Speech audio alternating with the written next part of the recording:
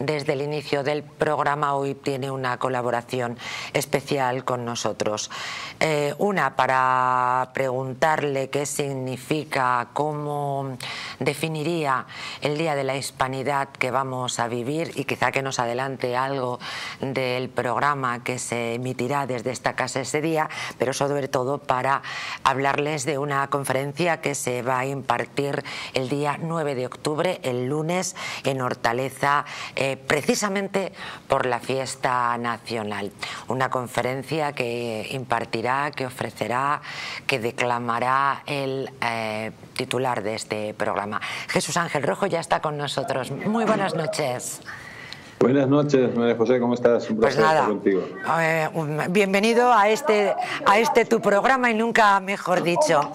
Eh, háblanos, por favor. Bueno, en primer lugar, me gustaría muchísimo, sé que se está preparando un programa especial por el Día de la Hispanidad y me gustaría hacer un poco de boca contigo y con los telespectadores si nos puedes adelantar la algún aspecto de este programa que vamos a emitir en Distrito Televisión el próximo día 12 con motivo del Día de la Hispanidad. Bueno, pues lo que pretendemos hacer es un programa donde eh, hagamos una reivindicación de la hispanidad, ¿no? La hispanidad que representa 600 millones de personas, 600 millones de personas que comparten una misma cultura, que comparten sangre, que comparten una historia en común y que el día 12, lógicamente, tienen que celebrarlo por todos los altos, ¿no? Porque el día 12 de octubre, digamos que es el día más importante de la historia universal después del nacimiento de Jesucristo. Por lo tanto, es un programa donde vamos a, reivindicar pues esa grandeza que fue creadora la madre patria y de la cual pues salieron muchas hijas, muchas patrias diferentes o países diferentes a partir de ese gran hecho histórico que fue el descubrimiento de América. Pues les convoco a todos ustedes aquí en Distrito Televisión el próximo día 12, pero también les convoco porque a buen seguro querrán compartirlo el día 9 de octubre, lunes para más señas, en, la Junta Municipal de Hortaleza. Aquí no, en, la Junta Municipal no, en el Centro Cultural San Chinarro. En el Centro Cultural, muy bien, perfecto. Claro, eh, eh, de pronto iba a leer, la Junta Municipal ha organizado alrededor de 15 propuestas en centros culturales, educativos municipales e instalaciones deportivas. Y en este caso, efectivamente, es em, justamente en, esta dirección, en esta localización que nos da Jesús Ángel Rojo. Pues em, el presentador, el director de este programa, que además de dirigir este programa es un reconocido escritor con un buen número de publicaciones, de libros en el mercado, va a impartir una conferencia este próximo lunes, como les decía, con motivo de la fiesta nacional. Eh, dentro de esta programación diseñada, eso sí, por la Junta Municipal de este distrito de Hortaleza, cuyos vecinos van a poder asistir a todas las actividades, entre ellas a esta conferencia que me gustaría preguntarle, y de hecho pregunto a Jesús Ángel Rojo, cuáles van a ser sus vértices y sus puntos fundamentales. Bueno, dentro de las actividades que se celebran por el Día de la Estabilidad, de la, de la Hispanidad en, en, la, en Hortaleza. Pues el en el distrito de, Hortaleza, efectivamente. Exactamente, en Hortaleza. Eh, lógicamente, el día 9 vamos a estar a las ocho y media dando una, una conferencia sobre lo que es la hispanidad, que yo creo que es la mayor obra civilizadora que, que ha habido en la historia de, de la universidad, de la, del mundo, ¿no? Digamos que haciendo un antecedente de lo que va a ser el día 12, lo que vamos a pretender es que un hecho tan grande, que desgraciadamente ha sido denostado, pues mm, verdaderamente contar la verdad.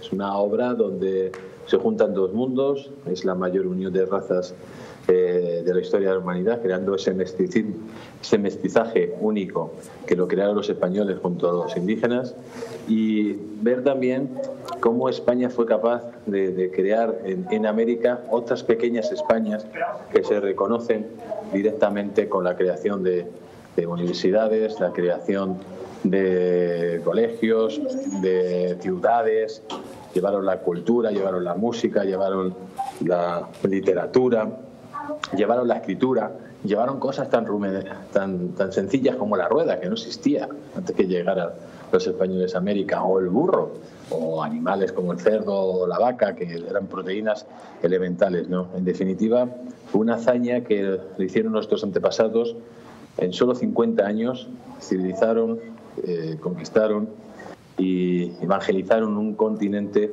como es el continente eh, americano en, una, en un hecho único que no tiene parangón en la historia universal. Por eso es tan importante recordar a nuestros antepasados que son los padres de todas esas eh, naciones hermanas que ahora mismo pues, conviven en Hispanoamérica. Porque hay que recordar una cosa muy importante.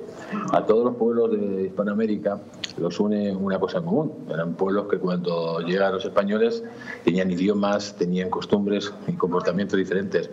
A todos ellos los une España. Y por eso, en un día tan importante, hay que reivindicar la hispanidad y el nacimiento de esa raza cósmica, como decíamos, conoceros, esa raza cósmica que es la mezcla del indio y el español, que, es una mezcla única y que convierte eh, esos territorios en, la primera vez que empieza a hacer el multiculturalismo que tanto presumen algunos que ha hizo España hace 500 años. Por lo tanto, es una conferencia que nadie se tiene que perder y que tiene que estar allí. Además, voy a pasar lista y por lo tanto os espero a todos en el Centro de Cultura San Chinarro a las 18.30 el día 9, el lunes que viene, eh, para escuchar esa gran conferencia. Ese 12 de octubre que une a todos los españoles e hispanohablantes. Esa es la cita 18.30, 6.30 de la tarde, un momento para empezar a hacer boca, para celebrar. El día 9 a las 18.30 en el Centro Cultural San Chinarro. Centro Cultural, estamos tomando buena nota, Centro Cultural San Chinarro.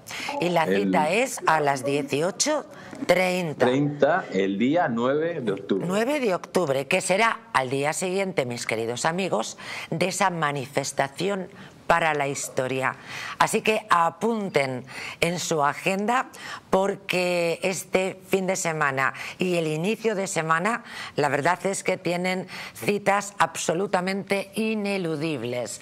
El lunes eh, recuerden, a las 18.30 podrán estar bien cerquita del director de este programa, de Jesús Ángel Rojo, eh, llevándoles un contenido tan afortunado, ¿verdad?, para esta semana que nos pone al pie del día 12. Una conferencia, naturalmente, que tendrá mucho de eh, contenido, de muchos de los libros que has escrito, naturalmente, teniendo España y teniendo el Día de la Hispanidad como argumento.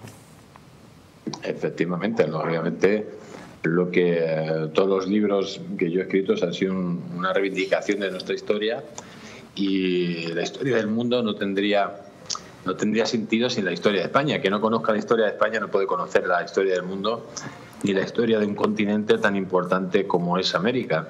Y en esa historia que le han intentado hacer una historia negra a algunos eh, resentidos sociales.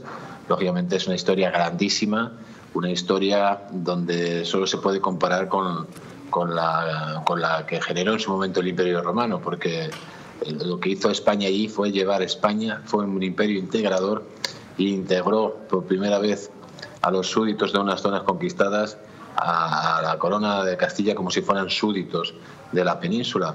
Por lo tanto, eh, son hechos excepcionales, se crearon los derechos de gentes, el derecho internacional, el derecho, derechos laborales que ahora mismo tenemos se crearon a partir, digamos, de las leyes que generó la corona para proteger eh, a los indígenas. En definitiva, es una historia gloriosa en la cual eh, la gente tiene que saber y por lo tanto vamos a dar luz a lo que algunos han querido ocultar y han querido enfangar. Por lo tanto, la historia de España es muy importante y sobre todo reivindicar la hispanidad, que es el mayor legado que ha dejado nación alguna en el mundo. Por eso los espero a todos allí. Día. día 9 a las 18.30. En el Centro Cultural San Chinarro. Y como seguro que vas a darlo todo, que es lo que normalmente haces, y te vas a quedar ahí ya sin energía para el siguiente fin de semana, estate muy atento a la pantalla porque te voy a dar una recomendación para que descanses y te inundes de bienestar en un hotelazo que vas a salir como nuevo. Gracias, Jesús Ángel Rojo. Gracias Muy buenas noches. Buenas noches. Muy buenas noches.